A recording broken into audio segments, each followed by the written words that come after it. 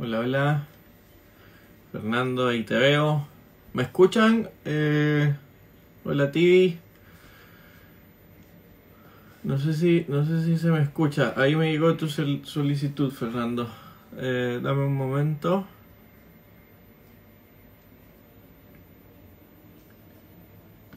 Vamos a esperar que Instagram siga avisando un poquito más a los seguidores. Fenómenos, ahí se escucha bien. Gracias, Tibi. Vamos a estar hoy con Fernando Almea en nuestra sesión de Escuchando Historias 129. Fede querido, ¿cómo va, Pomelo? ¿Qué está pasando al otro lado de la cordillera? Escríbeme por interno, hablemos. Hola Renata, ¿cómo estás? Bienvenida. Como les decía, vamos a estar con Fernando Almea. A ver, con- enólogo consultor y ya con su propio proyecto. Nos va a estar contando varias cositas. La verdad es que estoy bastante emocionado por, por conversar con Fernando. Eh, no nos conocemos personalmente, pero, pero seguro que será una gran charla. Así que... Hola, hola Chilean Wine Addict. Vamos con Fernando, ahí está. Vamos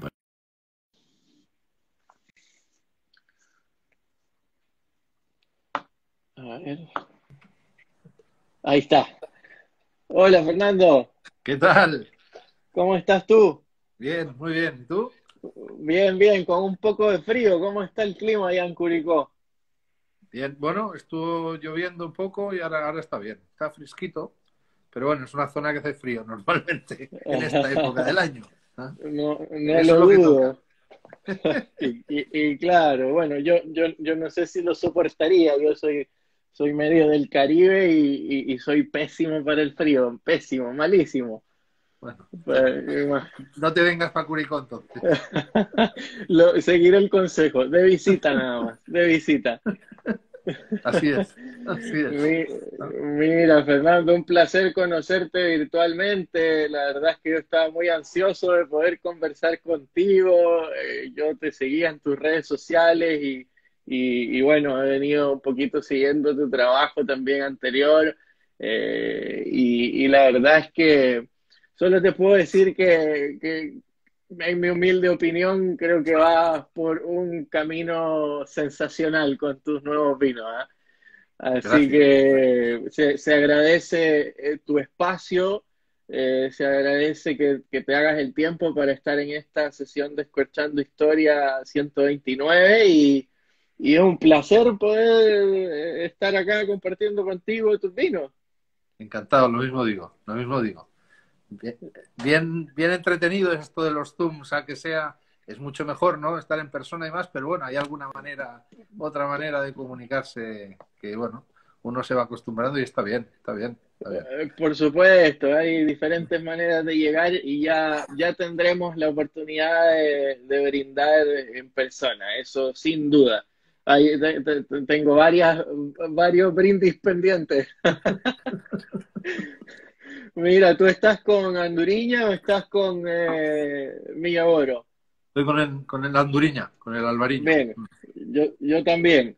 Eh, mi. Millaboro, Millaboro no llegó al día de hoy, pero, pero, pero tomé nota, hice la tarea y tomé algunas notas que te voy a compartir más adelante eh, sobre el vino.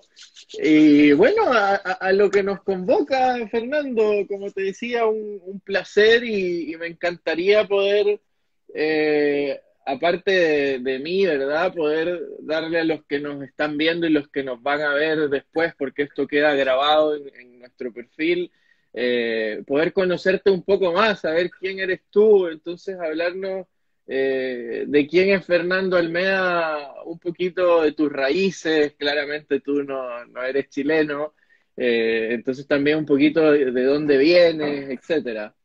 Mm. A pesar del acento, el acento español, llevo 25 años más, casi 30 años en Chile. Y bueno, desgraciadamente no se me ha perdido completamente, pero cuando voy a España me dicen que tengo acento, que no tengo acento allá, y aquí tampoco tengo acento aquí. O sea, es un batiburrijo, es una mezcla eh, un tanto rara. Pero a pesar de ser español y haber nacido en España, mi mamá es chilena y es de Linares. Ella nació en Linares. Ah. y, la familia por parte de mi madre está toda en Linares. Y bueno, ella se fue a estudiar cuando era joven a España y, se casó allí con un español y, yo nací allí, ¿no? Pero bueno, pero soy la tercera generación dando vueltas, porque a pesar de que mi madre era española, o sea, perdona, chilena, mi abuelo era español y, vino a Chile. Está medio enredado, ¿ah? eh, medio enredado, pero mi abuelo llegó a Chile a principios del siglo pasado, mi madre se fue para España después, hace 60 años atrás y yo me he vuelto para acá. Soy la tercera generación dando vueltas tú. y todas relacionadas con el vino, todas relacionadas con el vino. Ah, sí, eso te iba a preguntar, si tú, tú tienes una, un, lazo directo con el vino por, por la familia o es porque tú quisiste nada más entrar al mundo del vino. Por la familia, sí, mi abuelo que vino de, España para acá, eh, nació en una familia que hacían vino a pequeña escala en un pueblo al norte de Cataluña y llegó aquí a Chile y fundó, fundó una bodega en Linares que duró hasta no hace muchos años atrás, una bodega que se llama Viña Segú Oye, porque mi abuelo se llamaba Oye de apellido, una bodega de tradición de toda la vida. Y bueno, y ha ido pasando de generación en generación y ahora estoy yo eh, haciendo vino. Yo me acuerdo de haber venido los veranos de allí, los veranos de España, haber venido para acá, para Chile, los inviernos, tipo agosto, julio, agosto, y acompañaba a mi abuelo a la bodega, a ver las, las viñas, de ahí se injertaba, se podaba, y tengo muy, muy buenos recuerdos de esas, de esas escapadas, que eran mis veranos españoles, me venía aquí a pasar el invierno, a Chile. Mira, mira, qué, qué vida, ¿eh? qué, qué, qué, rico poder estar eh, moviéndote de lugar a lugar. ¿eh? Bueno, hoy en día, desgraciadamente, no, no se puede, me imagino que que, lo extrañas también, me imagino que, te, desplazabas bastante eh, por el mundo debido a la, al movimiento del vino, ¿no? Pero, ¿por qué, Fernando, por qué, por, qué específicamente decides terminar en, eh, Chile y no seguir tu tradición en, España o, o, bien en Europa? ¿Por qué? Y además de tu parentesco, obviamente, ¿no? Chileno. Eh, pero ¿por qué Chile? Porque yo en España empecé a trabajar en una bodega que tenía una bodega aquí en, que tiene una bodega aquí en Chile. Perfecto. Y me ofrecieron venirme para Chile al cabo de los años, ¿no? Al cabo de cuatro o cinco años de estar trabajando allí, me ofrecieron venirme para acá y vine encantado, ¿no? Si venía a ver a, a mi familia, a estar con ellos un poco más de tiempo que los veía de tanto en tanto cuando venían los veranos y bueno, y al final, por una cosa por otra, luego me casé y me quedé, al final me quedé aquí en Chile. ¿sabes? Mira, el amor, el amor. Así es, así es. Eh, eh, ¿Ese amor sigue hoy en día o ya no? Sí, sí, sí. Bien, bien, muy bien. Menos mal, han sido, mira, son 20 años de matrimonio, han sido como solo 5 minutos. Bajo, el agua sí, ¿eh? Bajo el agua. que, no, que no te escuchen, que no te escuchen, que si no, no te van a dejar dormir calientito hoy. qué grande. Ah. qué lindo, qué lindo. Mira, y, y, y cuando tú, tú actualmente solo haces vino en Chile o tienes algo en España que, que te ate a estar yendo para allá o tienes algún proyecto, digamos, que, que esté a un futuro cercano, mediano en España para hacer como una conexión eh, redonda de tus raíces? Mira, no, no sé, hasta, hasta ahora estoy enfocado en elaborar mis propios. Bueno, tengo varios proyectos en marcha, ¿no? Pero fundamentalmente están eh, ubicados aquí en Chile. Eh, por supuesto, estoy buscando alguna alternativa porque estaba empezando a asesorar un poquito, ¿verdad? Eh, tanto el campo enológico como el campo vitícola. Y bueno, estoy viendo alguna alternativa en España para ir a alguna temporada durante el año. Sí, eso también está abierto, pero por ahora estoy más enfocado aquí, que tengo bastantes proyectos en marcha y, requieren, pues sabes que cuando se tienen que empezar, pues requieren un poco más de dedicación y demás, ¿no? Y estoy recién empezando en todo esto. Sí, por supuesto. Pero, bueno, estamos viendo, estamos viendo. ¿eh? Tengo ganas. Bueno, eso no debe faltar, exacto, exacto. Eso no, creo que no. Es importante tenerlas, porque al final tú lo puedes tener ahí el proyecto a un ladito y quizás ir pateándolo un poco, ¿no? Pero, pero lo tienes, lo tienes, lo tienes hasta que un día te vas a decidir por, por seguirlo, ¿no? Eh, obviamente dentro de tus conveniencias y lo que quieras hacer a, largo, mediano plazo. Eh, pero pero súper entretenido. Y, tú, siendo que vienes de la, de la familia de vino, eh, ¿siempre fue tu, siempre fue tu, tu sueño o tu foco eh, dedicarte a la enología o tú en algún momento te vistes entre algún otro ramo eh, que no fuera el vino? Yo la verdad es que no, no tenía en mente a mis cuando terminé de estudiar la enseñanza media, ¿no? A los 18 años, como que no tenía muy claro qué hacer, ¿no? Y estaba pensando en varias alternativas y sobre todo porque en aquella época, eh, yo me acuerdo que cuando hablaba con mi abuelo, eh, cuando hablaba con mi tío aquí en Chile, me decían que el tema del vino estaba muy, muy mal y que me tenía que dedicar a otra cosa, ¿no? Porque estamos hablando de los años, yo creo de los años 75, 75, 78, por ahí. Eh, no he sacado la cuenta, pero por ahí debe, ser.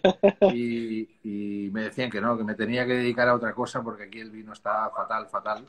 Y bueno, de todas maneras, eh, por los recuerdos que tenía con mi abuelo de haber ido al campo, de pasar la bodega, de, que me enseñaba a, probar vinos y a hacer sus, sus mezclas ahí en el laboratorio, decidí igual meterme a estudiar enología y bueno, y ha sido, y ha sido, la verdad es que yo creo que es una de las mejores decisiones que he tomado en mi vida porque lo disfruto cada día, ¿no? Lo disfruto cada día. Eso es, yo, yo creo que eso, Fernando, es clave, ¿ah? Es eh, es súper, súper clave el, el, hecho de que a ti te tenga que gustar o encantar o apasionar algo, porque eh, al final el día a día, hacerlo por hacerlo, es mentalmente y físicamente agotador. Mm. Eh, sí, pero es una lotería. La verdad es que es una lotería porque no sabes al final en qué te metes hasta que realmente estás metido y llevas un tiempo, ¿no? Ya, y es y es una lotería que a veces bueno te sale bien y a veces pues no no te sale tan bien. En este caso, pues sí, creo que me salió bien. ¿ah? No, sí, coincido, coincido. Porque después de después de 30, más de 30 años metido en el mundo del vino, que todavía te siga apasionando el tema eh, y que todos los días ¿no? encuentres cosas nuevas y disfrutes de lo que estás haciendo, eh, yo creo que estoy que soy una persona bendecida por eso, ¿no? Bendecida. Mm. Sí, salud por eso, porque estoy totalmente de acuerdo. Y yo siempre cuento una historia que tengo un familiar eh, que, que, que, él empezó estudiando, bueno, yo tengo una familia de, médicos, eh, no todos, pero varios, y, y uno de mis, de mis primos eh, al principio decidió estudiar eh, medicina, llevaba cuatro años estudiando medicina, y creo que fue la época cuando empezó a hacer los, estos temas de los turnos y que tenía que hacer las prácticas y todo. Después de cuatro años de medicina se se cambió a diseño, a ese nivel.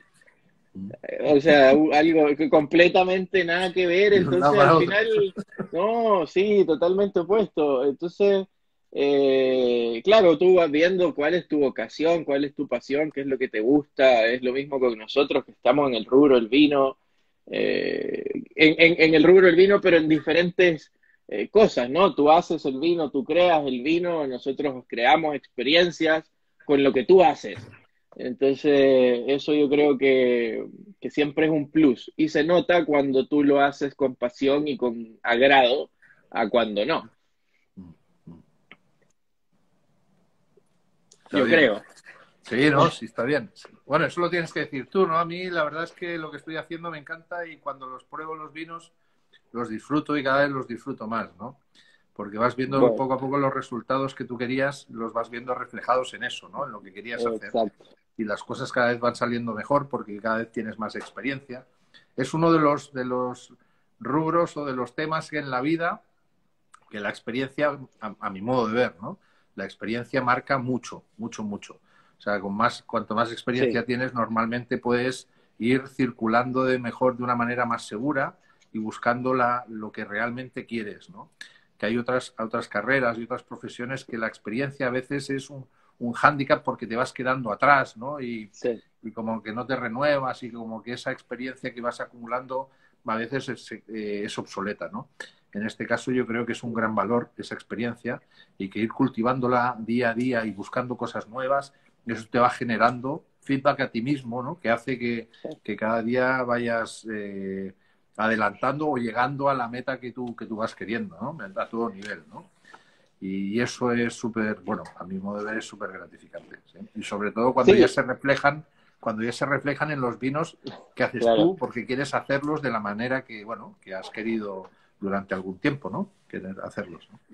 Claro, eh, eso, eso justamente era lo que te iba a comentar porque, eh, bueno, tú, tú, tienes una carrera enológica súper eh, longeva, ¿no? Súper, súper, súper amplia y en donde en donde me imagino que siempre tuviste que también que, seguir ciertas directrices, seguir ciertos lineamientos, eh, como en toda empresa, ¿no?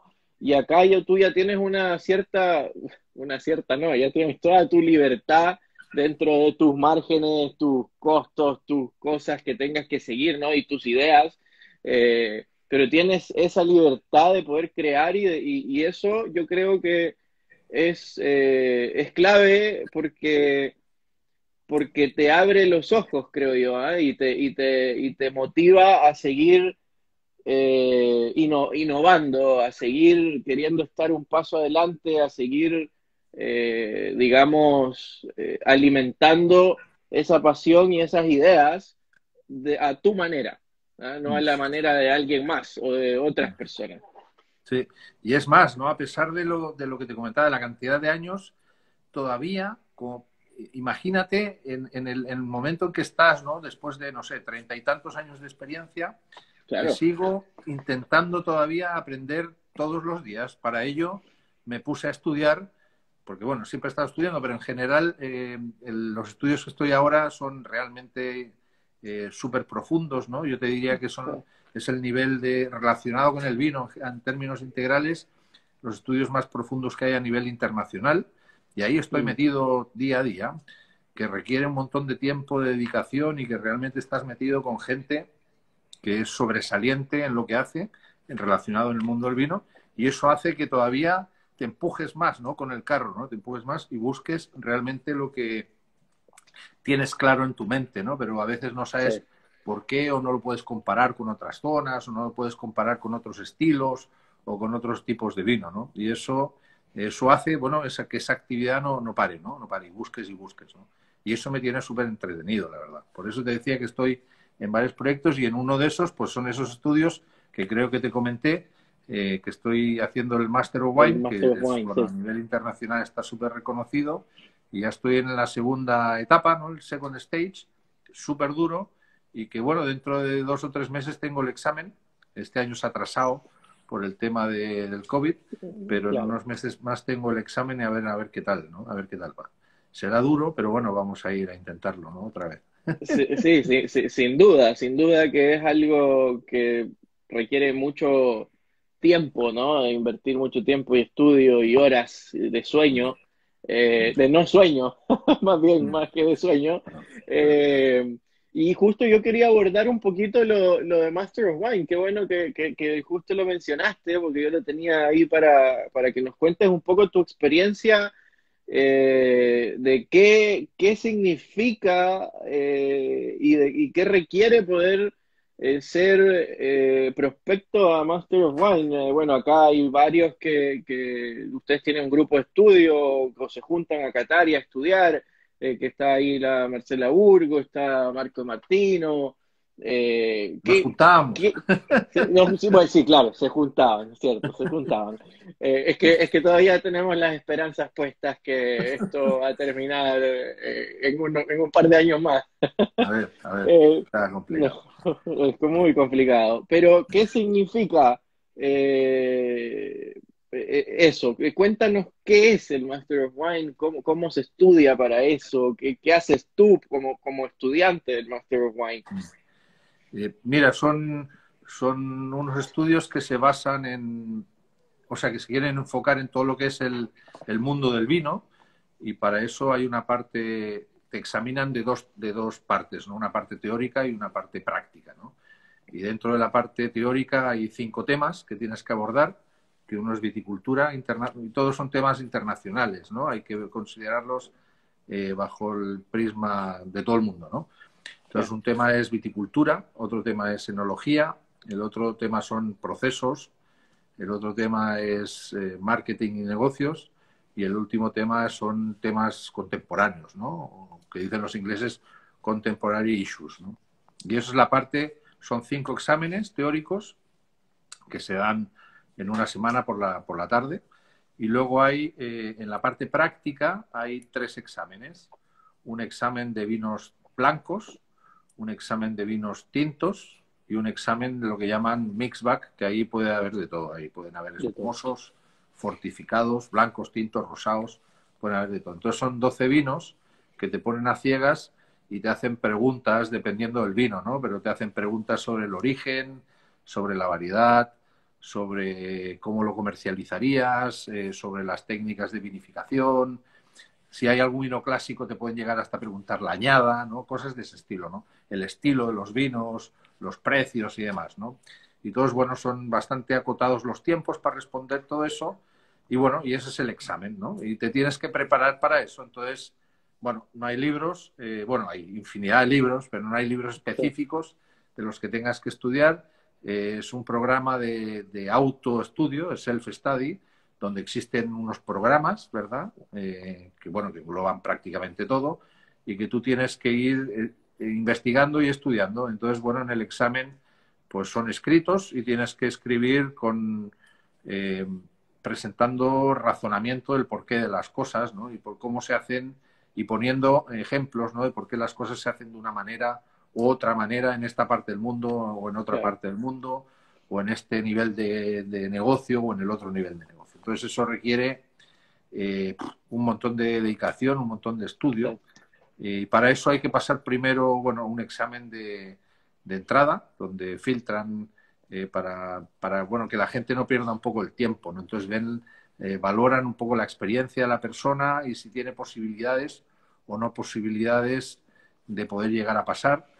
Luego pases por un primera, una un first, un primera etapa o un primer curso, un first stage, un primer, eh, una primera etapa, y, y, ahí que es bastante más sencilla, ¿no? donde hay menos preguntas, donde realmente conoces y aprendes a saber cómo hay que contestar todo esto y qué es lo que se valora, qué es lo que no se valora. Y pasado esa primera etapa, ya llegas a la segunda etapa, que es la, la que estoy yo, que ahí ya entra este examen que te comento que es Cototo, que dura una semana. Eh, y bueno, pasado eso, eh, luego tienes que hacer una... Dime. El examen dura una semana. Sí, bueno, cuatro ah. días. Sí, cuatro días. mañana y tarde. Mañana y tarde. Son dos horas y cuarto, dos horas y cuarto por la mañana y son tres horas por la tarde. Sí, cuatro días. Por favor. Y es duro, es duro, bien duro. Hay que estar preparado físicamente, porque si no. Me imagino. Y, y bueno, pasado eso, ahí viene ya al final una especie como de trabajo de investigación del tema que tú, que tú quieras, ¿no? Hay que plantearlo a una comisión y esa comisión te lo aprueba y bueno, tienes un año para presentarlo y defenderlo. Una especie de tesis, digamos. Y en, eso, consiste el Master One. Y lo bueno es que, bueno, que la gente que se dedica a eso, pues tiene experiencia y está muy metida en el tema, 100% metida en el tema, y hay pocos, hay muy pocos en el mundo, ¿no? Hay muy poquitos, ¿no? Entonces, eh, está, es, gente que, que, vive el vino día a día y que está metido, y, es internacional, están ahí en todas partes del mundo hay algún Master One. Eh, por ejemplo, aquí en Sudamérica hay uno en Argentina, una en Argentina, hay uno, en, Brasil, ¿no? O sea, en todo, en todo el mundo hay, hay Master Uruguay, ¿no? Hay países que hay más por la tradición vitivinícola y la tradición de comercio que tienen, como los ingleses, los norteamericanos, ¿no? Que hay, hay bastantes más, pero en general en todo el mundo hay, hay Master Y, ahí, y ahí estamos. Eh, realmente es una, es una maratón, es una carrera de, de, fondo, una maratón donde hay que día a día ir superándose hay altos y bajos, tanto en degustación como, como en escribir las respuestas, como en los temas teóricos, como, bueno, como en todo, en todos los, los temas que tienes que ir profundizando, ¿no? En la maratón. Y es además un, una clase, o una, más que una clase, una etapa de humildad tremenda, ¿no? Porque te das cuenta de que... De que no sabes nada. De que no se sabe, o sea, que sabes muy poco, ¿no? Que sabes muy poco y que se necesita aprender mucho, ¿no? Eh, y bueno, y ahí estamos, bien. Mira, y, llevo, ya, llevo ya a lo tonto, a lo tonto, llevo cinco años ya. Ah, eso te iba, eso te iba, eso te iba a preguntar. Eh, todas estas etapas de las que nos hablaste, digamos que cierras el ciclo del Master of Wine a la primera. ¿Cuántos años eh, requiere cerrarlo a la primera? a la primera son tres años. a la primera son tres años. Son tres años, sí. Yo llevo cinco. Yo llevo cinco. bueno, Y además, todo esto, la gran mayoría en inglés, además. Y claro, sí, sí, sí. Por lo menos el tasting, todo es inglés, hay que escribir en inglés, todo es inglés. el teórico puedes escribir en castellano si quieres, las preguntas son en inglés y todos los feedbacks que tú tienes y todos los... Porque bueno, vas, vas enviando ¿no? Eh, trabajos ¿no? que vas haciendo y más o menos te los corrigen en base a lo que ellos creen, a que cada uno de los Master Wins cree que por donde tendrías que abrir, igual todos los feedbacks son en inglés, todo el tema es en inglés. Entonces, bueno. Pero yo cinco, cinco, cinco. Y bueno, esos cinco ha habido uno de pandemia, o sea que en teoría llevo cuatro. Cuatro, cuatro. Eh, hay, que, hay, que, hay que darle crédito a, la pandemia en ese sentido, hay que restarle el año. Sí, pero el promedio, el promedio, si mal no entiendo, creo que son seis años el promedio en general. Mira, es. Eh, pasan en tres años son unos cracks que hay. Hay, hay sí. parece que. Parece que Fernando Mora y ellos pasaron en la primera, ¿no? Fernando, tres años. ¿Y quién más dices? Tres años. Y Atkin también, Tim. Tim Atkin puede ser, no lo sé. No se lo he preguntado a Tim. De hecho, hemos hablado varias veces del tema y seguramente, yo, seguramente. Yo, creo que yo, yo, yo, conversé con él el año pasado y, y por lo que estuve investigando, él ha sido de los pocos que ha salido con honores. Eh, y que ha tirado a la, primera a la primera, si no me equivoco. Y Fernando Mora también. seguramente.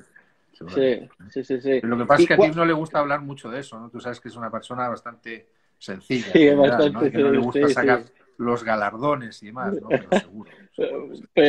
Pero, tiene varios, tiene varios. Mira, y, y, de este, de todo el proceso que tú tienes dentro de Master of Wine, Fernando, ¿cuál ha sido el más, el momento más, más difícil, lo que tú has sentido más difícil dentro del Master of Wine? ¿Y cuál ha sido el más gratificante hasta ahora? obviamente el más gratificante va a ser eh, poder obtener el título, pero hasta, hasta el día de hoy, eh, ¿cuáles han sido esos dos polos? Mira, el, más, el, que realmente recuerdo con más, quizá, no sé si amargura, pero con poco desesperación fue hace dos años que me presenté al primer, la primera vez al examen. Y el primer día por la mañana, el lunes, eh, te presentas, no me acuerdo a qué hora era, pero creo que es a las 10 de la mañana, en Londres, ¿no? Yo ya había, yo llegué eh, cuatro o cinco días antes para aclimatarme y demás, para no estar nervioso y todo el rollo, y te presentas allí y bueno, te sientas, tú tienes tus 12 copas allí delante y empiezan a servirte las copas, ¿no? Y todo el mundo con el computador, un poco nervioso, te entregan los papeles, bueno, dicen tiempo, ¿no? Y ahí tienes dos horas y cuarto para contestar todo, que realmente al final uno de los problemas más serios que tiene el máster es el tiempo, ¿no? Que tienes que hacerlo todo casi instintivo, ¿no? O sea, no tienes mucho tiempo para pensar. Puedes pensar, por supuesto, pero tienes que estar con los tiempos súper medidos y no, no es que tengas... Lo, lo, tienes que tener acá... Lo tienes que tener súper claro y tienes que discurrir rápido, ¿no? O sea, de hecho, eh, son 12 vinos, ¿no? Y lo normal, lo que todo el mundo aconseja es que la degustación tienen que ser entre 15 y 20 minutos, la degustación, ¿verdad? Y luego tienes dos horas para contestar. Y la verdad es que no, te da el tiempo, ¿no? Tienes que ser súper rápido. Y yo me puse, pues bueno, eh, va tiempo y empiezas a oler y estuve, no sé, por decirte, 10 minutos que no olía nada, nada. Todos los vinos me olían igual, igual y eran de colores diferentes, o sea que olían diferente, ¿no? Y muy diferente, ¿no?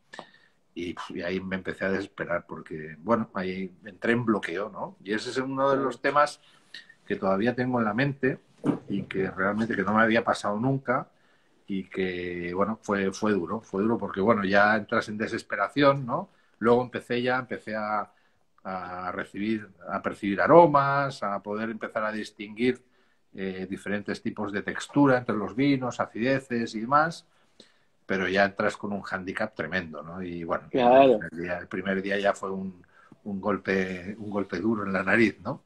Eh, pero bueno, al día siguiente me compuse un poco más con los tintos y el mix bag también más o menos fue no fue no fue tan malo, ¿no? Pero el primer día fue horrible, ¿no? Y ese fue ha sido el recuerdo más más duro. Y el mejor recuerdo el mejor recuerdo es que, eh, pues bueno, terminé el examen, ¿no? Que son cuatro días, como te comentaba, eh, que estás, o sea, es de 10 a 12 y cuarto, y luego es de, de 12 y cuarto y nos dejaban una hora y media, 12 y cuarto, 1 y cuarto, de 2 a 5, más o menos, súper enfocado, cuatro días, pensando en eso y escribiendo, escribiendo, escribiendo, escribiendo todo, porque por la tarde tienes que escribir tres essays, tres tres, tres preguntas, ¿no? Y cada pregunta mínimo tiene que tener mil palabras, más o menos, ¿no? Imagínate tres mil palabras en, tres horas, ¿no? De temas, bueno, que tienes que tener así, ¿no? Y que te preguntan de cualquier cosa, ¿no? Entonces, eh, estás súper nervioso y bueno, y cuando vas viendo, vas, vas entrando día a día en el salón, eh, vas viendo que van desapareciendo, ¿no? Que, bueno, porque estás bastante aislado, ¿no? Entre una persona y otra, pues a lo mejor, no sé, hay tres, tres, metros, ¿no? Tres metros para cada lado y para atrás hay dos metros, estás muy aislado. Pero vas viendo que van desapareciendo, que hay mesas cada vez, hay más mesas vacías, ¿no? Y el día, el último día, pues bueno, hay, hay bastantes mesas vacías. Y bueno, yo estoy contento porque terminé y terminé bien y pude contestarlo todo. Desgraciadamente no pasé, la teoría me faltó poquito, creo yo la práctica me faltó un poco más, pero bueno, estoy contento por eso. Estoy contento por eso. Bueno, grande, felicitaciones. Es un, eh, yo creo que es un desafío eh, enorme, es un desafío muy, muy grande y muy eh, que requiere mucho esfuerzo ah, y tiempo. yo, te diría, yo, te diría, que en promedio, en promedio, ¿ah? durante los últimos cinco años yo he estudiado todos los días, en promedio, dos horas, todos los días. Mira, eso igual es un montón. yo considero que es, a mi edad, a mi edad es un montón. Cuando estás en la universidad y demás, no, pero a mi edad, después de trabajar o antes de trabajar, mandarte dos horas todos los días, bueno, los fines de semana es un poco más, ¿no? Pero en general, dos horas todos los días es un montón. No, y aparte, aparte, imagínate, eh, eh, también tienes que tener bueno, yo creo, creo, lo creo así, ¿no? Yo creo que tienes que tener una, una pareja, una compañía que, que, que apañe en eso, que, que acompañe, ¿no? Porque eh, entre hacer vino, entre consultar, entre estar acá, allá, la familia y encima tener que dedicar dos horas más a estudiar, eh, es, yo creo que tienes un, paciencia, infinita que tiene en mi casa. Eh, paciencia mis hijos, mi eh, señora, no, paciencia. Yo, yo, yo, yo, creo que los cinco minutos abajo del agua van del otro lado. Seguro, sí, así es. Así es, así es. qué grande, qué grande. Eh, no, y por en medio de las vendimias, ¿no? Las vendimias, uy, eso, las vendimias son las más duras. Al principio, al principio en una relación de pareja, las vendimias son un tema, ¿no? Son un tema tremendo, ¿no? Porque tú sabes que son, es 24-7 claro. en España no es tanto, ¿no? Pero aquí en Chile son tres meses, ¿no? 24-7, ¿no? Y al principio es un tema, pero duro, duro, Hasta que, bueno, se logran hacer eh, los, las conversaciones, los tratos, ¿no? Y demás. Y hasta que entienden, ¿no? De que esa es tu, tu, tu pasión, ¿no? Y que es trabajo, por supuesto, pero es tu pasión, ¿no? Y que son tres meses, cuatro meses al año que no que no tienes prácticamente vida, ¿no? Que te pases la vida en la bodega, ¿no? Día y noche, ¿no? Y, sumado a eso le tiene que gustar el vino que hiciste en el año, porque si no la vendimia va... Bueno, todos, los enólogos somos muy críticos, ¿eh? en general. Todos los enólogos somos bastante críticos y siempre creemos que hay cosas que se pueden mejorar, porque te vas dando cuenta de que hay cosas que se pueden mejorar. Me claro. gustan los vinos que haces, por supuesto, ¿no? Pero siempre puedes pensar, mira, y si probáramos esto, si hiciéramos eso, tal, siempre hay mentalidad, tenemos mentalidad inquieta de formación Sí. profesional, ¿no? De formación profesional. Pero, pero bueno, que te diga a tu pareja que los vinos están buenos, eso es, es un 90% ya de, de- Ya de- es un de- alivio. Sí, claro, claro, de meta, ¿no? Pero siempre tienen favoritos, ¿no? Dicen, no, este sí, este sí, no, pero este no. Y ahí, bueno, tienes que explicarle que hay otros estilos, ¿no? De vinos y que, bueno, que, que hay otros que te quieres enfocar hacia otro, hacia otra vertiente, ¿no? A otro estilo, a otro consumidor y demás. Porque, bueno, dentro de to- todos los vinos, cualquier tipo de vino, cualquier variedad, puedes hacer un montón de estilos diferentes, ¿verdad? Y puedes ir pues. a- enfocado a consumidores diferentes, a mercados diferentes, a maneras de venderlo diferente, ¿no? Entonces, bueno, tienes Sí. que enfocarte un poco en todo eso, ¿sí? Tal cual, tal cual. Mira, qué grande, ¿eh? No, me- me- Fernando, me estoy fascinado con nuestra conversación. Yo estoy, yo estoy súper contento, súper alegre.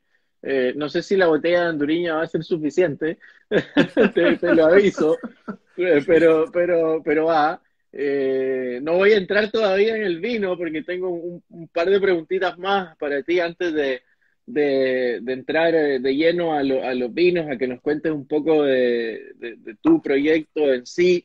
Eh, pero para mí es súper importante que, que todos los que nos ven y nos van a ver te conozcan eh, más, ¿no? Que, que- que sepan qué es lo que tú, quién eres tú y qué es lo que haces, más allá de vino. Y, y, y no, y me gustaría mucho que nos cuentes un poco eh, que, que no tiene, o, o tal vez tiene mucho que ver o poco eh, con, con los vinos que vamos a hablar hoy, pero cuéntanos sobre Isla de Pascua. Mm. Eh, yo creo que es un tema que, que no, no podemos dejar de abordar.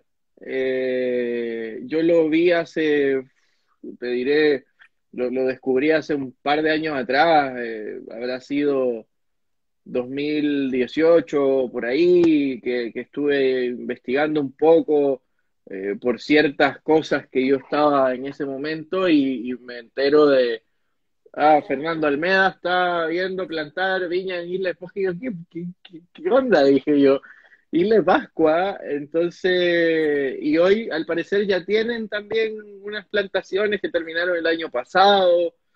Cuéntanos de, de eso un poquito para, para saber en qué está.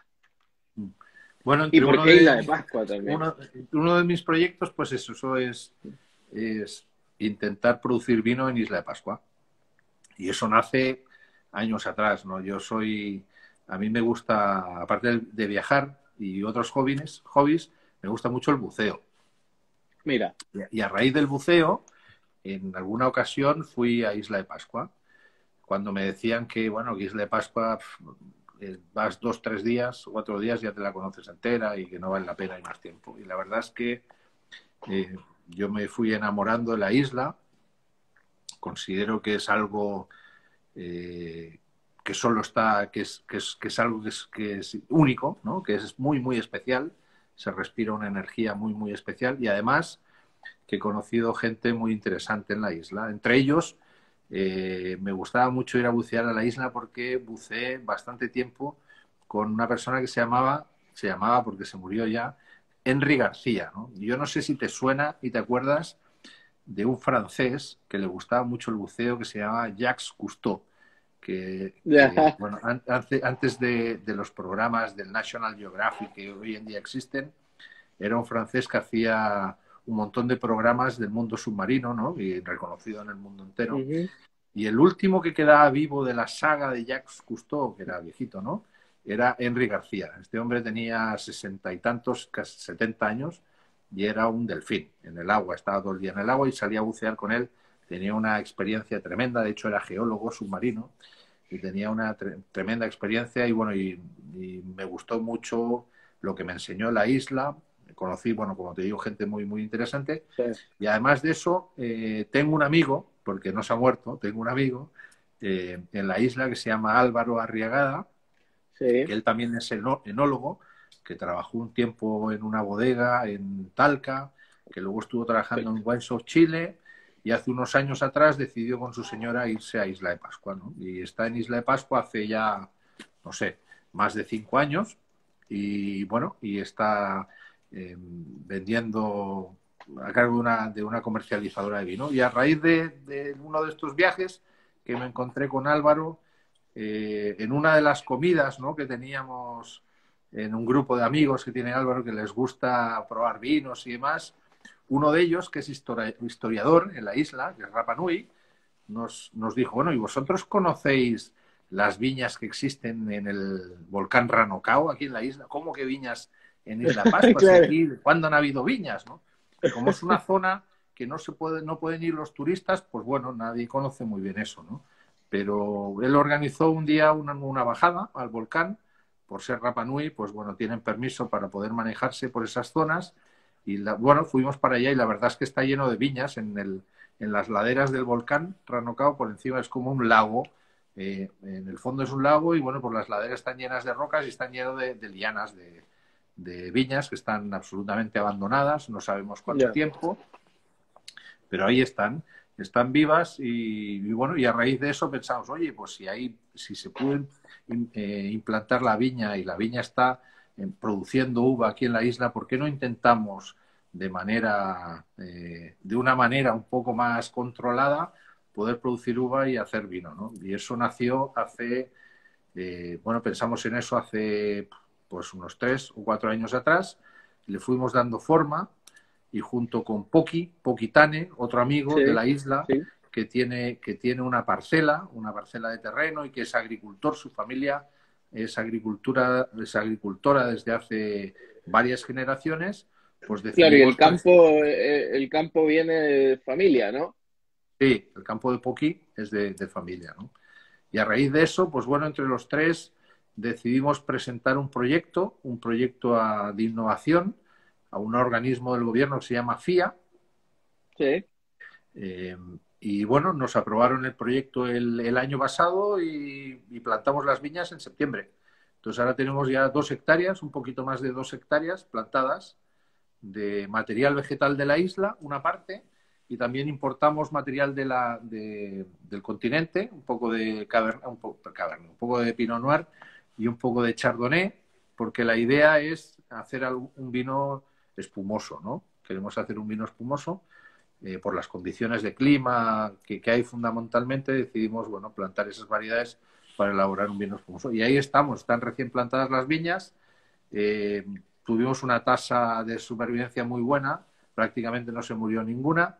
Y ahora están, están botando la hoja, cosa que no teníamos muy claro si iba a botar la hoja por, la, por las temperaturas que existen. ¿no? Es difícil eh, que haya temperaturas por debajo de los 10 grados centígrados y eso hace que sea difícil que, pierda la hoja la viña y que para el, para el ciclo vegetativo de la viña es importante que haya un receso, ¿no? Hay un receso. Y bueno, estamos aprendiendo un poco de eso y la idea es, si todo va bien, que las viñas en dos, dos años más, bueno, este año ya sacaron, ya sacamos algún racimo, hicimos como un litro de vino, de Pinot Noir, un litro, que el primer vino de la isla, y dentro del año que viene, bueno, esperemos que haya algunos racinos más, pero a nivel ya con una producción más o menos eh, que se puedan vinificar con, con, instrumentos y que se puedan hacer cosas entretenidas, eh, eso ya será en la cosecha 2023. 23, dice. 2023. Bueno, y como tú puedes saber, como bien sabes, los plazos de la enología son así, ¿no?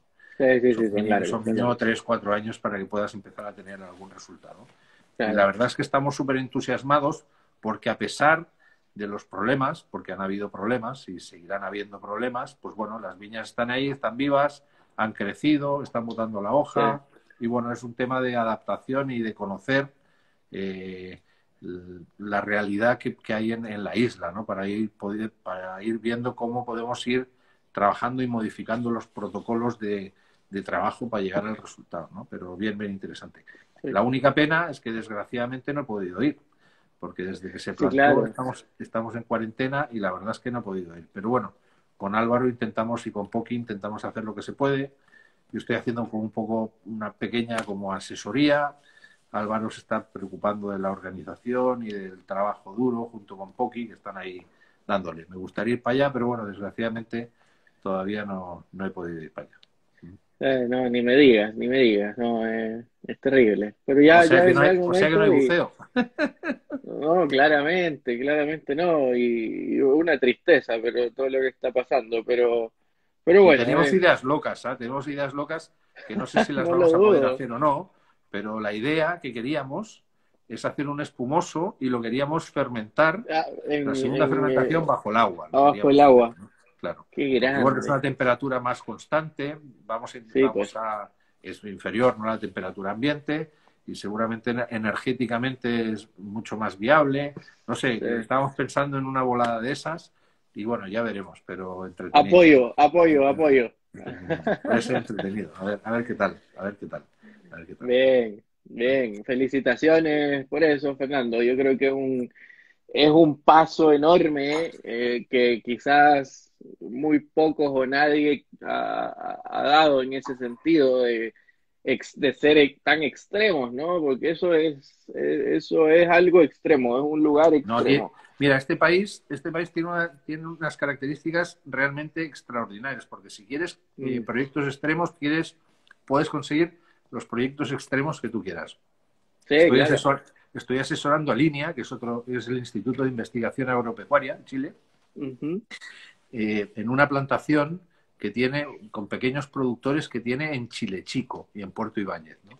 Que fui ahora Claro, hace, sí. mi último viaje fue hace ahora dos, dos meses, dos o tres meses atrás, para el final de la vendimia, y eso también, eso sí que es extremo, eso es tremendo, eso es tremendo, que hayan viñas allí, que tú veas los racimos colgando, las hojas verdes, con el frío que, no sé, subes un poquito más, ¿no? Hacia Coyhaique, y eso es, no sé, ahí se hiela todo, ¿no?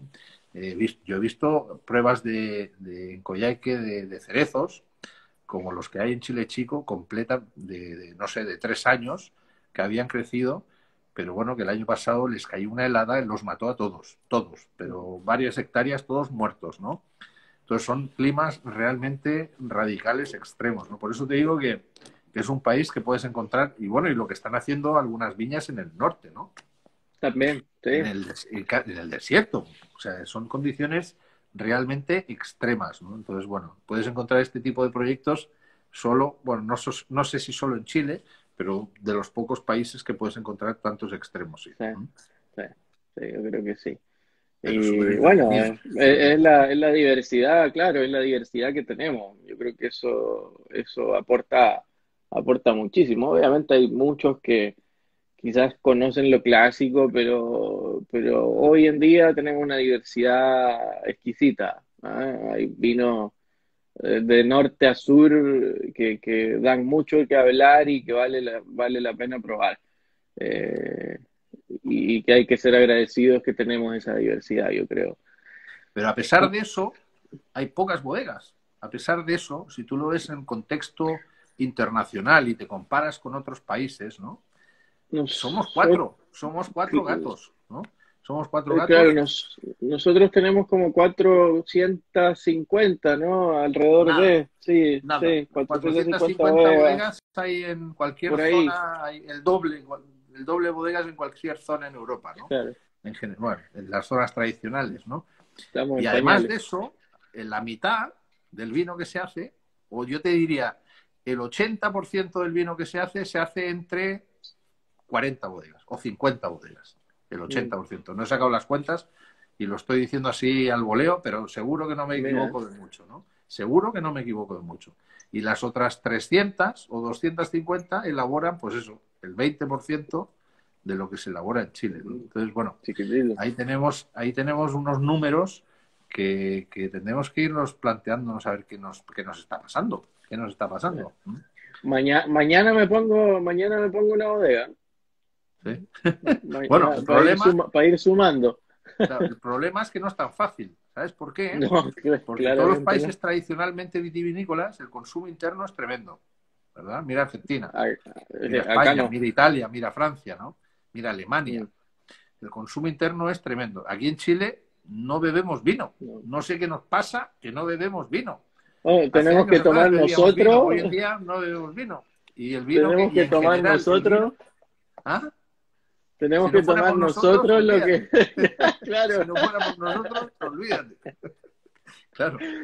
Entonces, hay unos promedios súper, súper bajos y además, si ves el tipo de vino que se bebe, además de beber poco, si tú ves el, tipo de vino que se bebe, es, es muy, en general, es vino muy barato, con estilos que ya no se utiliza, o sea, que ya no se comercializan en gran parte del mundo. Entonces, como que estamos, somos una potencia exportadora de vino, estamos exportando el 90% del vino que hacemos, y somos una potencia a nivel internacional exportando vino mucho más que Nueva Zelanda, mucho más que países muy conocidos, pero, pero internamente tenemos una asignatura pendiente tremenda, tremenda. Pero bueno, tendremos Acá estamos aportando al consumo per cápita. ahí estamos, ahí estamos, intentando necesitamos un poco de más apoyo, pero bueno, tampoco me molesta. Empeño la hacemos. Más. Empeño la Claro. Eso sí, eso, y las ganas nos faltan, así que. Qué grande. Oye, Fernando, eh, la verdad es que yo podría seguir hablando toda la noche y abrir otra botella, pero vamos a, entrar a tus vinos, vamos a entrar a tu proyecto.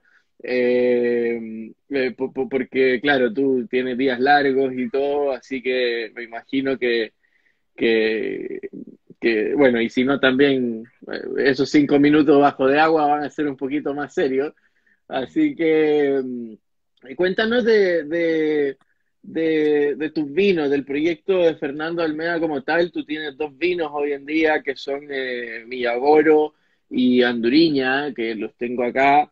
Eh, y, vinazos. Eh, Fernando, felicitaciones, de verdad, me adelanto a eso. Eh, me encantaron. Nosotros conversamos ayer y yo te lo dije. no, no, no sé por qué tenía el garnacha en la cabeza y tú me decías, no, cariñena, y yo te seguía diciendo garnacha, no sé por qué, porque estaba como volado en otro lado.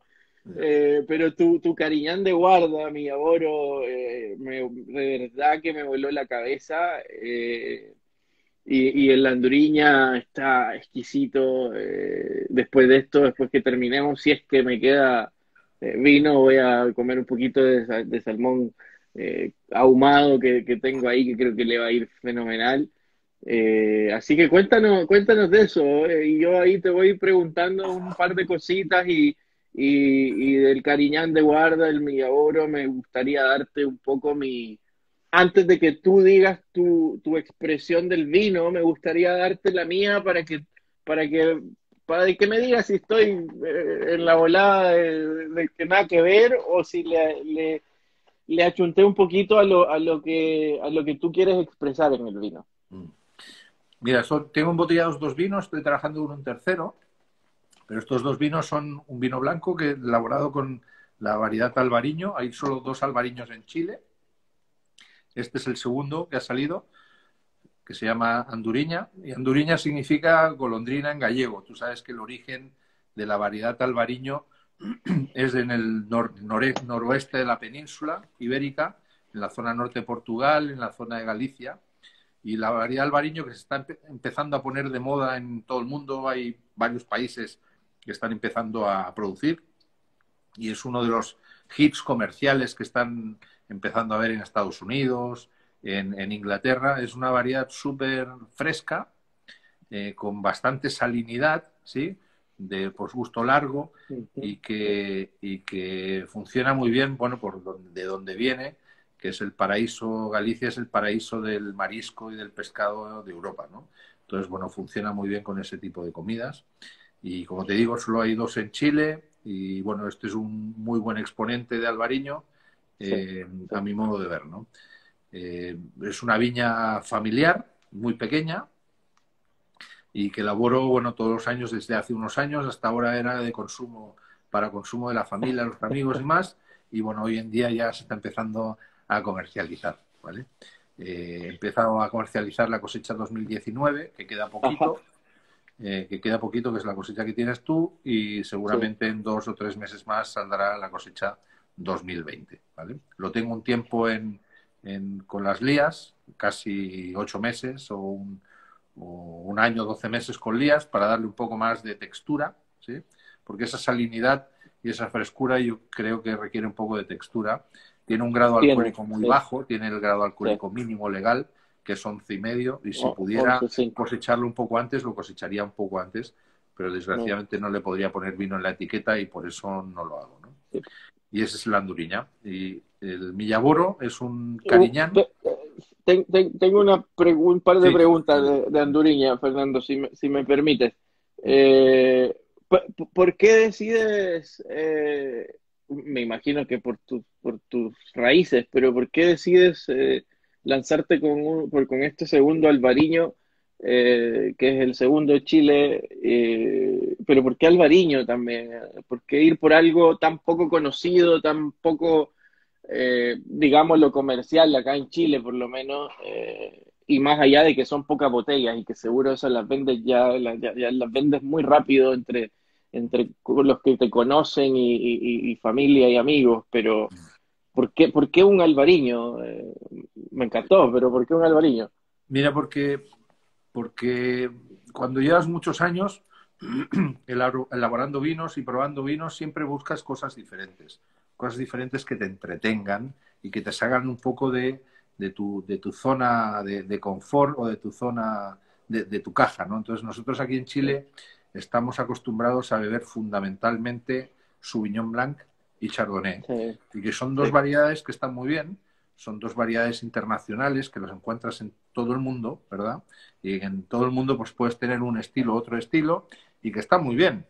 Pero bueno, cuando ya llevas mucho tiempo dedicado al vino, pues Chardonnay y Sauvignon Blanc, pues bueno, pues no sé, gustas otras cosas, ¿no? Y otras cosas que pueden tener otras características, ¿no? Y yo creo que Albariño es una de las variedades, a mi modo de ver, blancas que tienen junto con otras, ¿no? Que tienen eh, esas características que, las que la destacan ¿sí? de sobre el común, ¿no? Y es esa frescura, esa salinidad, esa, esa fuerza que la gente dice que es mineral, ¿no? Yo no sé si será mineral, pero bueno, tiene una salinidad y una frescura en la boca súper, súper potente, ¿no? Y, eso a mí me encanta, porque además, como me gusta, porque además como me gusta comer, ¿no? Siempre buscas alternativas a lo que te gusta cocinar y más, que a mí los mariscos me, encantan, ¿no? Los erizos y las ostras y todo eso, ¿no? Entonces, bueno, y, eso bajo unos protocolos de, trabajo, de vinificación muy poco intervencionistas, que bueno, con el tiempo también eh, uno va aprendiendo, o yo por lo menos ido aprendiendo que el trabajo hay que hacerlo en la viña y hay que intentar hacer poquito en la bodega y respetar lo que se pueda de, la viña. Y así, y así sale el albariño. Y como te digo, bueno, he empezado poco, hace poco a venderlo.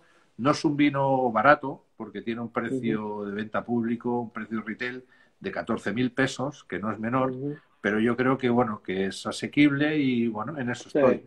La verdad es que elaboro casi, son 2.500, depende del año, ¿no? Pero 2.500, 3.000 botellas y, bueno, se van vendiendo. Se no me lo quitan de las manos, no desaparecen en dos meses, pero bueno, se va vendiendo y estoy contento, ¿no? Llevo seis meses vendiendo el vino y ya me queda poquito de la cosecha. Bien, no, súper bien. Eh, eh, yo creo que... Y prácticamente todo, casi todo vendido por, por Instagram, ¿no? O sea, sin, mm. sin moverme demasiado, ¿no? Sí, sí la, metido en la bodega que me cuesta salir, y bueno, y más ahora en temporada de COVID, imposible, ¿no? Salir. Sí, claro, no, sí, es, la idea de que estemos esta, esta noche acá, que puedan conocer estos, eh, mira, potencial de guarda del arbariño, no sé, eh, Fernando, si tú tienes algún registro de eso, yo la verdad es que he probado pocos albariños, pero así a mí, a mi juicio, eh, que claramente no tengo la experiencia que tú tienes, ¿no? Y, pero yo creo que tu anduriña fácilmente puede estar ocho años, diez años con una evolución muy linda, yo creo. ¿ah? Yo soy bien arriesgado en ese aspecto de guarda. Eh, el cariñán, eh, el cariñán ni hablemos. ¿ah? No, no, eso no, pues, tiene para 30 años más. Pero, pero este Anduriña yo creo que fácil puede tener unos 10 años con una evolución eh, fenomenal y, y y no sé, dime tú qué piensas al respecto. Quiero, antes de que digas eso, quiero saludar ahí a, a varios que están comentando, Rodrigo Bulnes, que hace mucho que no los veo conectados ni acá ni en las privadas. Un saludo, es Mauricio, que es un nuevo interrano y es un Mateo del vino.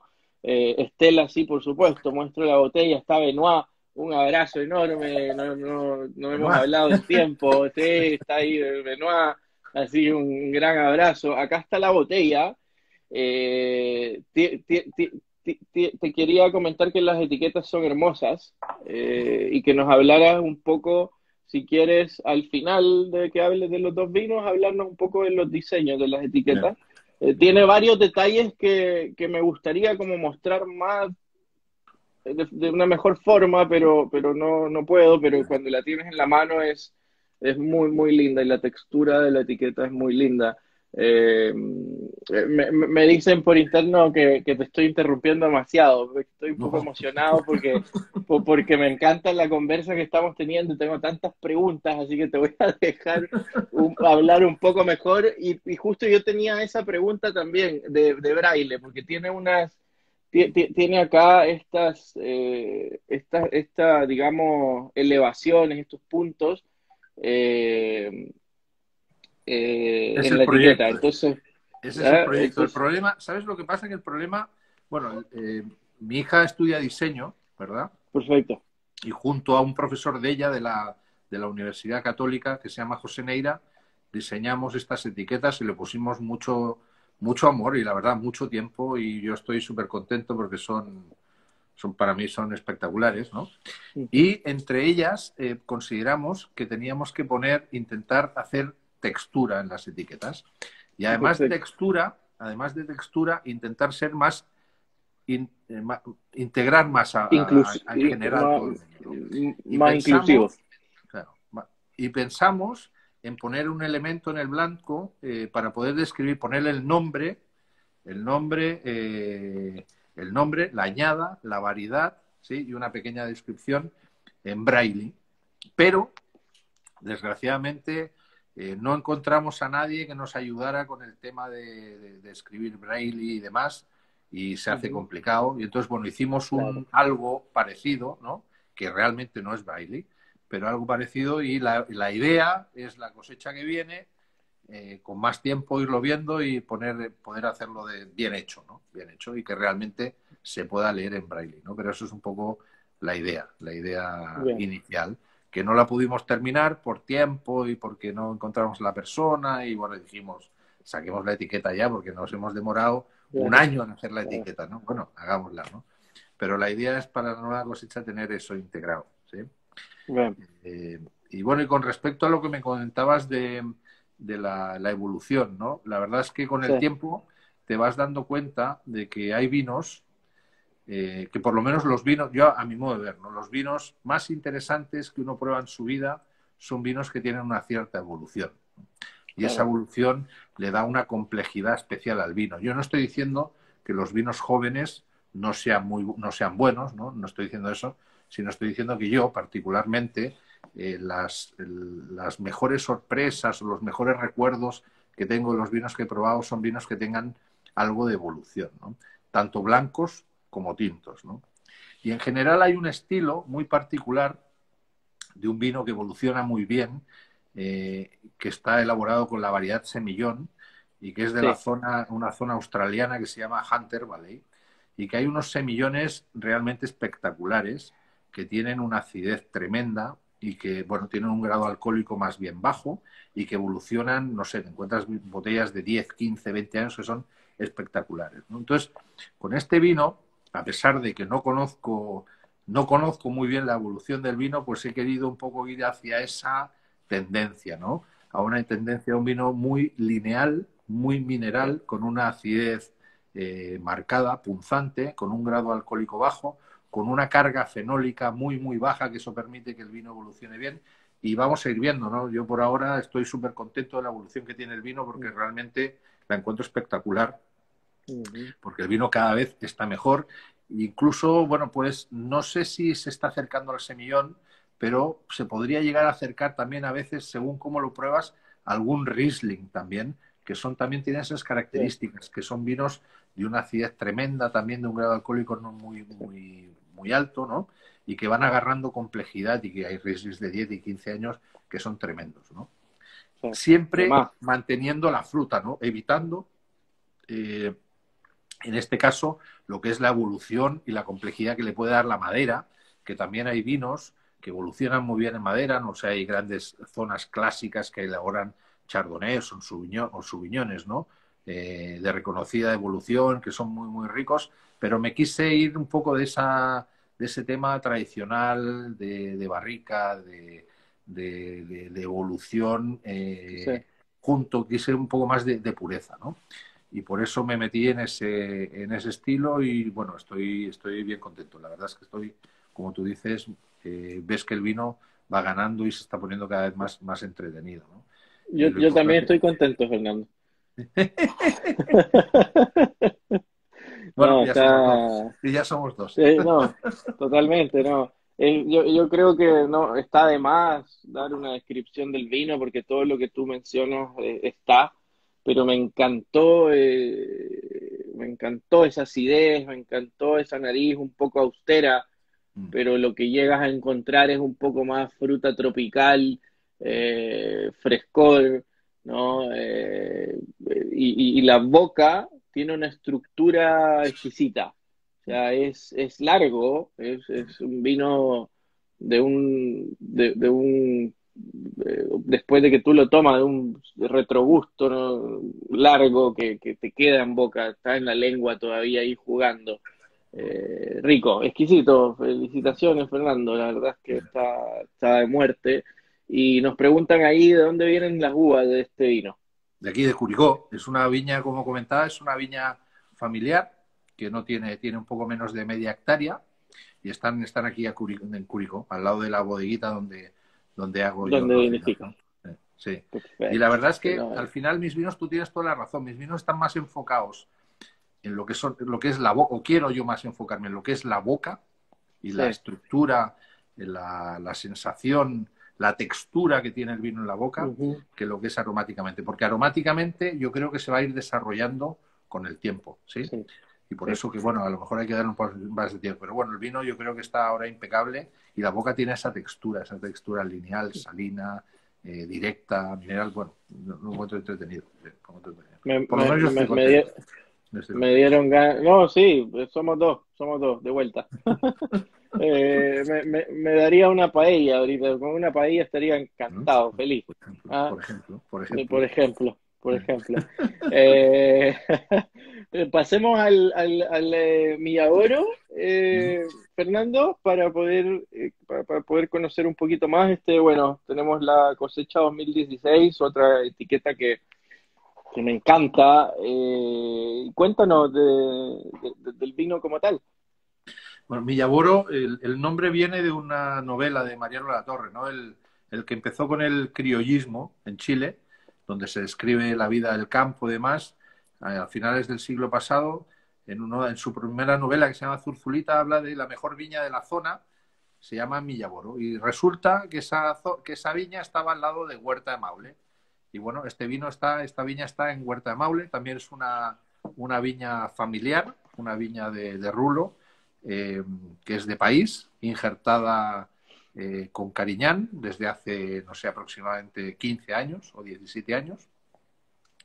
Y que, bueno, también eh, buscando una alternativa a lo que es tradicionalmente en Chile, también yo me enamoré de, de esta. Yo llevo elaborando Cariñán desde el año, bueno, hace muchos años, para no decir del año, de los, primer, de los primeros que se empezaron, empezaron a elaborar Cariñán en Chile, entre, bueno, el quinteto que había era uno de ellos, o sea que llevo bastantes años con el tema. Y he ido pasando por diferentes estilos eh, que me han ido llamando la atención y actualmente, bueno, estoy en un estilo parecido al, estilo de, de Anduriña, donde lo que estoy intentando es buscar esa textura y esa, esa sensación en boca más que el carácter aromático, que bueno, que el carácter aromático está llegando ya porque ya tiene una cierta evolución, ya tiene cinco años y se va destacando, ¿qué, dice? 1492, sí, bueno, 500 años después.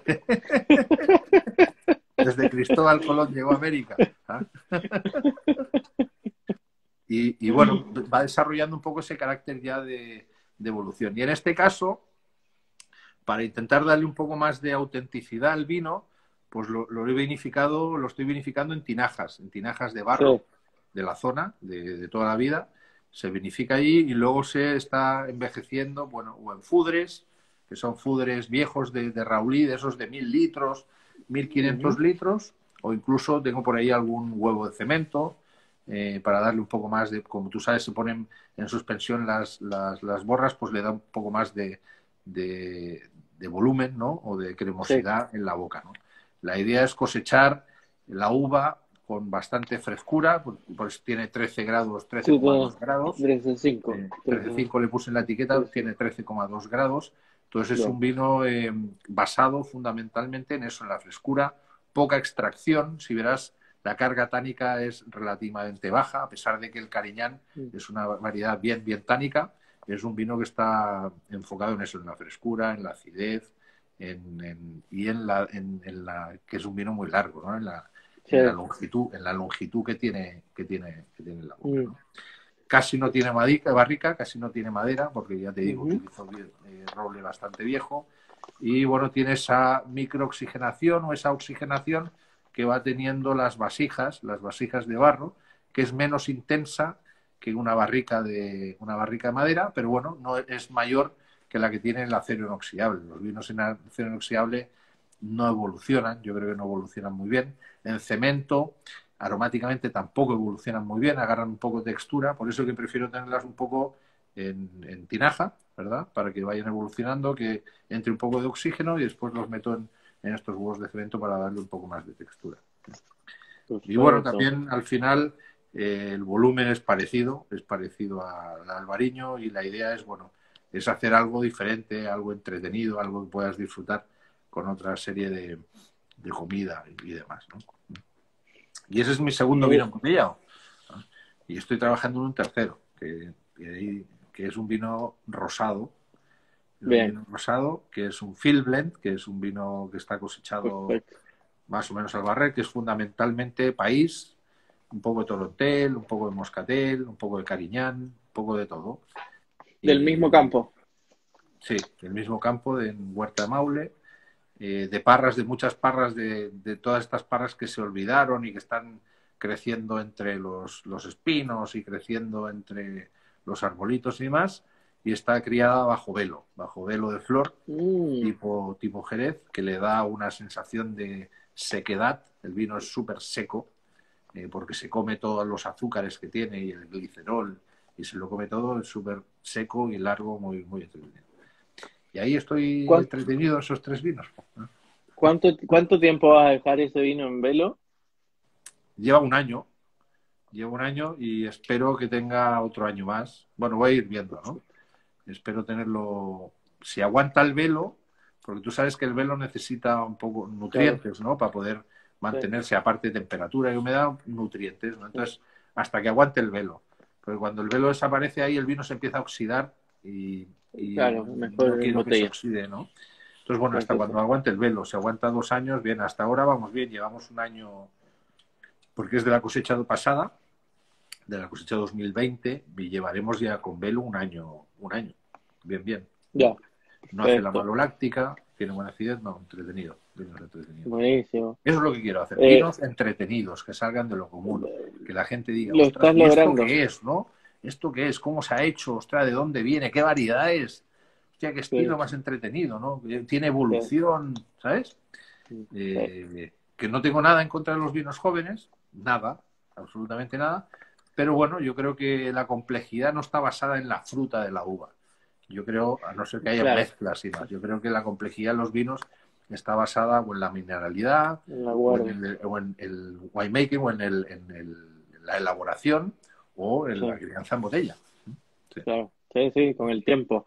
Mira, eh, me gustaría, si me lo permite, darte mi... dispare, dispare. ¿eh? Vamos, vamos. Mira, yo lo, como te dije, no, no aguantó. Voy a mostrar la botella de vuelta. Eh, acá está, para los que quizás no la, no alcanzaron a ver. Este es mi aboro. Eh, Mira, la, la verdad es que de la primera nariz fue como, wow, es como, ¿qué, qué, qué pasa acá? Eh, hay un, yo, yo soy bastante específico, digamos, en, ciertos descriptores que puedo dar de un vino, la verdad es que no me gusta dar un- una gran letanía ni, ni nada. Eh, pero hay ciertas cosas que sí se marcan muchísimo y que lo fui tomando lo más despacio que pude. Eh, es difícil, ¿ah? Así que está haciendo un buen trabajo, porque es difícil. Eh, pero lo fui tomando lo más despacio que pude para poder ir viendo capas. Y tenía muchas capas. O sea, el vino iba evolucionando muy lindo en el tiempo, en copa. No lo decanté, eh, pero era mucho, iba, iba a decir muñequeo, pero eso se escucha muy raro. Entonces iba girando la copa por mucho rato, eh, muy seguido, eh, nariz y nariz y nariz, y lo probaba y lo analizaba.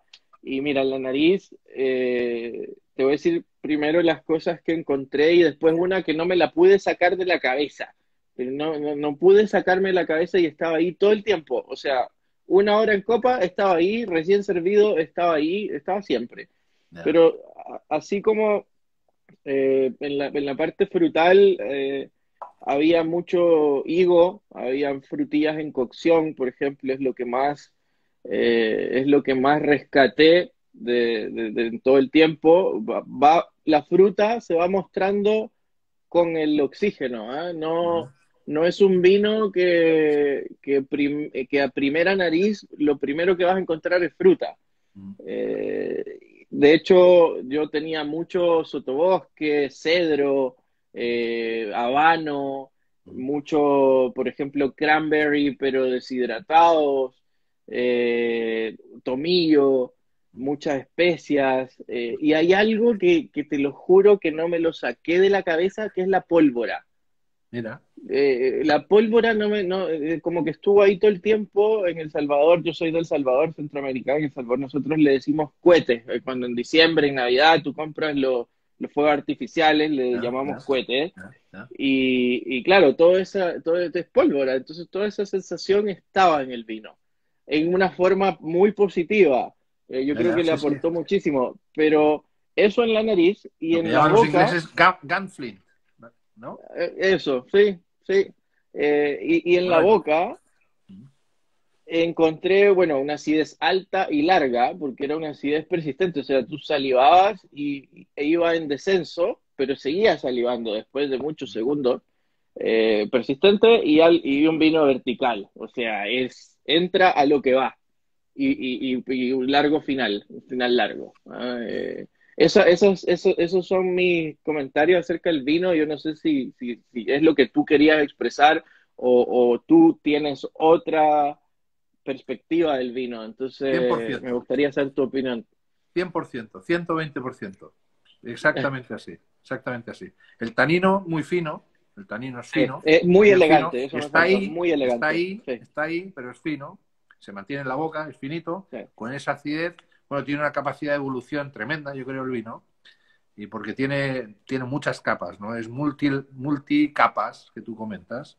Eh, Sí. Bueno, eh, bien, 100%. No, no, yo estoy absolutamente de acuerdo contigo. Eso es lo que quería y eso es lo que, lo que estoy haciendo con el resto de las, de las añadas, ¿no?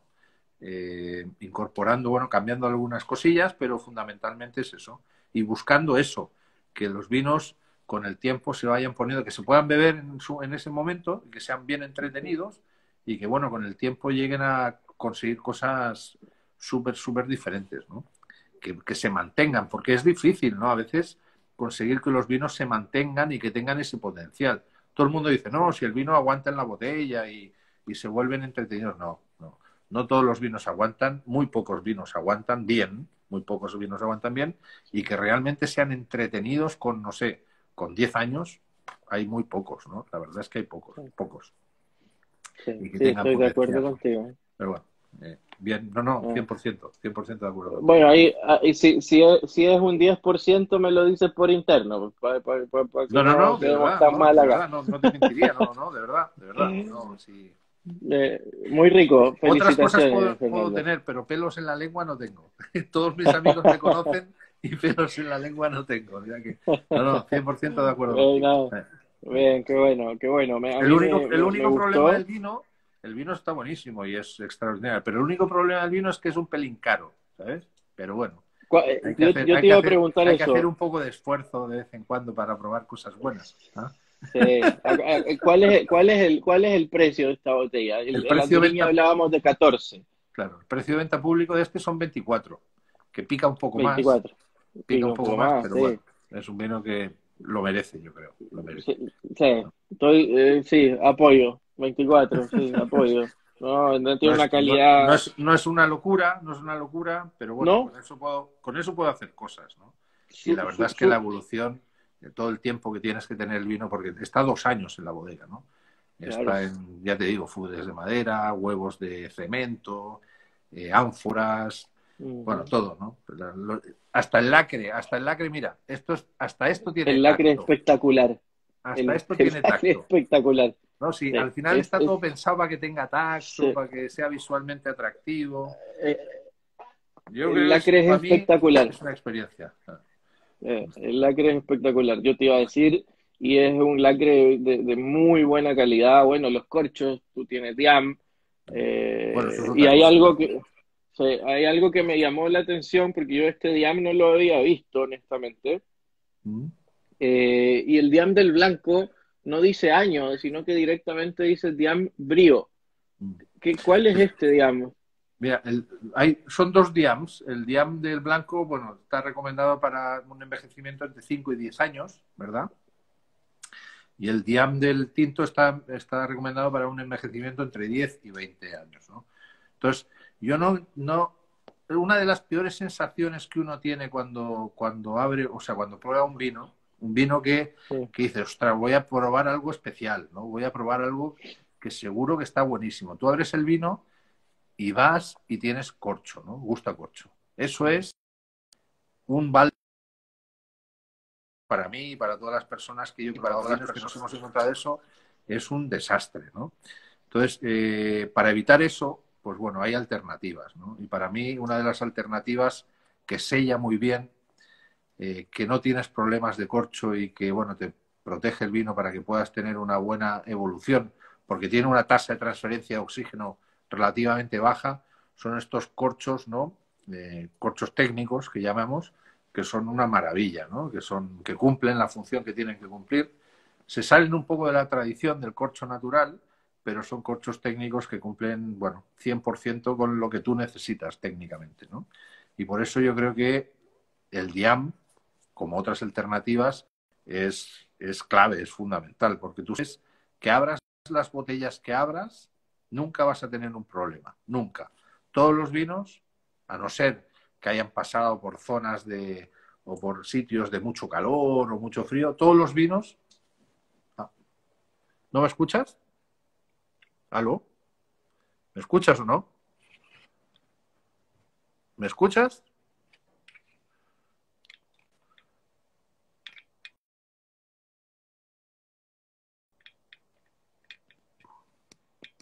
¿Me escuchas? ¿No? Pues no sé.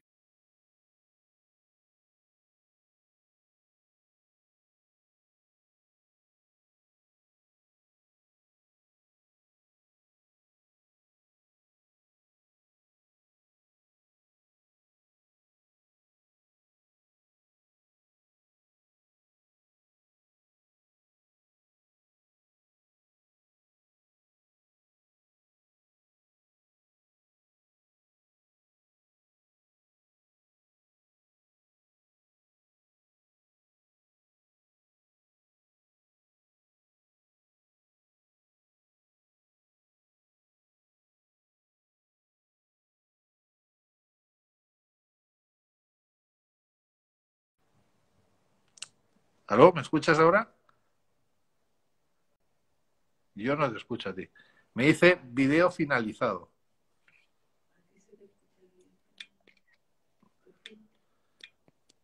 ¿Me escuchas? ¿No? Bueno. ¿Sí? Yo a ti no te escucho, pero bueno, es igual.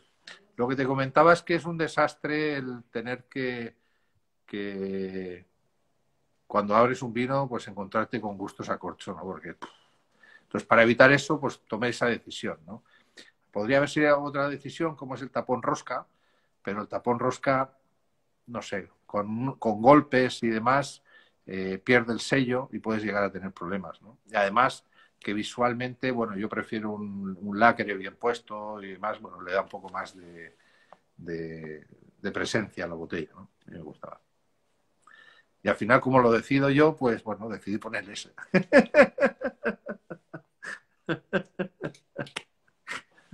Sorry, pero yo a ti no te escucho nada. No, sé. Eh, yo creo que sí que me estás escuchando porque me, me asientes con la cabeza. Voy a salir y voy a volver a entrar a ver si hay suerte, ¿vale?